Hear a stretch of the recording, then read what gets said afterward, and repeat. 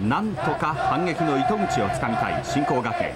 ランナーを一塁に置いてバッター貫井和明。一塁ランナーがスタートして打球はライト線フェア。二塁を蹴って三塁へ行く。一塁ランナーの米川。さらにホームに帰ってくる。ボールはキャッチャーに帰ってきた。タッチはアウト。点が取れない。ランナーの焦りか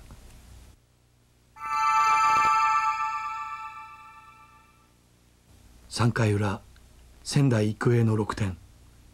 そして4回表新興学園の0点。2つのスコアが試合の明暗を分ける。